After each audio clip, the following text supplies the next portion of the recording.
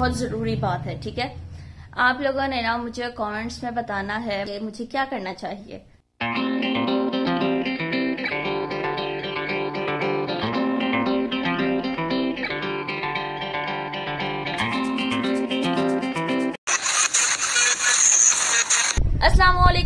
Welcome to diary and my next blog उम्मीद है आप सब ठीक होंगे। अल्हम्दुलिल्लाह, हम भी बिल्कुल ठीक हैं।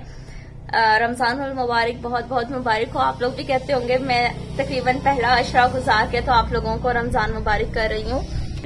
प्यारी समझ गई। एक मिनट ही विंडो बंद कर दो यहाँ से ना बाहर से शोर आता है यू नो ना बाहर का सीन सो so, इस वजह से। अच्छा तो बात ये हो रही थी कि मैं actually I am so sorry मैं बहुत ज़्यादा बिज़ी थी। क्योंकि जैसे ही रमज़ान मुबारक स्टार्ट हुआ हमारी यूनिवर्सिटी वालों ने हमारे एग्ज़ाम स्टार्ट कर दिए। तो वो रमज़ान के साथ एक इतना हेक्टिक सा स्केजुअल बन चुका था कि बिल्कुल टाइम ही नहीं था कि इंसान जो है तो वो रोज़े की हालत में यू नो पढ़ना कितना मुश्किल होता है। तो so, आज हम लोगों की दावत है आ, मेरी फ्रेंड की तरफ़। हम लोगों की नहीं सिर्फ़ मेरी क्योंकि एज यूजल फहद तो यू, आ, मतलब हॉस्टल में नहीं जा सकते हैं। सो so, अभी दावत है नमाज़ वगैरह वगैरह पढ़ के फ्री हुए हैं।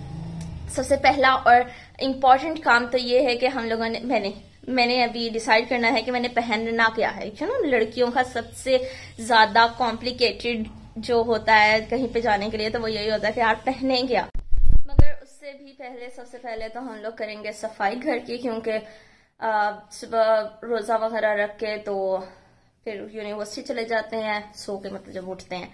तो यूनिवर्सिटी चले जाते हैं, उसके बाद वहाँ से आके तो नमाज़, जोहर की पढ़ के तो अब ये टाइम है कि घर की थोड़ी सी सफ़ाई कर ले। कल मैंने लगाई थी मशीन तो कपड़े भी इसी तरह के ही पड़े हुए हैं। पहले सफ़ाई करते हैं, सुबह के बर्तन भी ऐसे ही पड़े हुए हैं। उसके बाद फिर डिसाइड करते हैं कि जाने का क्या सीन करना घर मेरा काफ़ी हद तक हो गया है साफ़ बट कपड़े अभी इसी तरह से ही पड़े हुए हैं। क्योंकि अभी मुझमें इतनी हिम्मत नहीं है कि मैं अभी कपड़े तय करूँ। सो ये कल हम लोग कर लेंगे।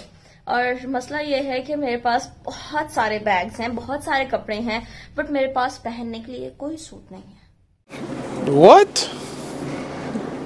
Bro, what are you talking about, man? ठीक है? मैं आप लोगों को दिखाती हूँ। मेरे पास एक ये बैग है ये इतना बड़ा बैग ठीक है जो कपड़ों से भरा पड़ा है। मेरे पास एक ये छोटा बैग है ठीक है जो कपड़ों से भरा पड़ा है। इसके अलावा इसके अलावा भी मैं आप लोगों को दिखाती हूँ। ठीक है? इसके अलावा हमारे पास है ये बैग ये बैग ये बैग और ये बैग।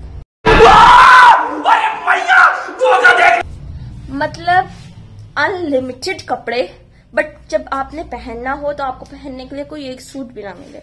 सो so, कैसा इम्तिहान है यार? फाइनली एक लंबी सारी तलाश के बाद हम लोगों का डिसाइड हो गया है कि मैंने कौन सा ड्रेस पहनना है। एक्चुअली फहद होते हैं ना तो मेरे सारे ड्रेस फहद ही सिलेक्ट करते हैं कि मैंने कहाँ पे कौन सा ड्रेस वेयर करना है ठीक है? बट अभी फहद ऑफ़िस गए हुए हैं सो इस वजह से मुझे एक लंबी सारी फहद को लिस्ट सेंड करनी पड़ी कि मुझे इसमें से सिलेक्ट करके बताएँ कि मैंने कौन सा पहनना है।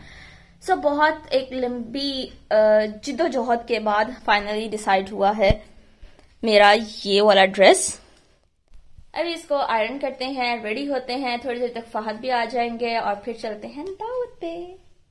अच्छा मुझे आप लोगों से भी एक बात करनी थी बहुत ज़रूरी बात है ठीक है? आप लोगों ने ना मुझे कमेंट्स में बताना है। नहीं। मैं सोच रही हूँ कि अब से मैं अपनी वीडियोस इसी तरह राउंड हिजाब में ही बनाऊँगी। सो so, आप लोगों ने मुझे कमेंट्स में बताना है कि मैं क्या करूँ। पता है आ, कभी कोई इस तरह का इंसान अच्छा काम कर रहा हो ना तो आपका जो होता है शैतान अब तो खैर शैतान भी नहीं है रमज़ान में बट इंसान का जो अपना होता है तो वो बड़ा ना डामाडोल सा हो रहा होता है कि यार कायनात खुले बाल तुम प्यारी लगोगी ये वो बट आई थॉट कि यार मुझे ना अब हिजाब दोबारा से स्टार्ट करना चाहिए। कन्फर्म जन्नती है कन्फर्म जन्नती है कन्फर्म जन्नती है कन्फर्म जन्नती है। स्पेसिफिक इवेंट्स पे चलो ये है कि भाई बिल्कुल स्टार्टिंग में एक बहुत ज़्यादा बर्डनाइज नहीं करते हैं अपने आप को।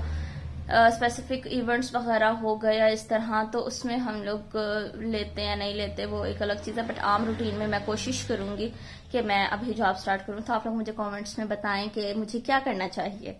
So I am ready to go और uh, वो फिर यहाँ से रोशनी पीछे से रिफ्लेक्ट करती है। मैंने इसलिए बंद की हुई थी लाइट so, अभी हम लोग मैं मतलब मैं रेडी हो गई हूँ और अभी दावत पे चलते हैं और आई एम बहुत ज़्यादा एक्साइटेड बिकॉज़ खाने के लिए बहुत ज़्यादा मज़े मज़े की चीज़ें होंगी you know so finally here is my ride and here is my rider अभी पहुँच चुके हैं हम लोग अपने मेन्यू वेन्यू पे और साथ मैंने फ्रूट्स भी ले लिए थे यू नो खानी हाथ तो किसी के घर नहीं ज़्यादा अच्छा लगता इंसान।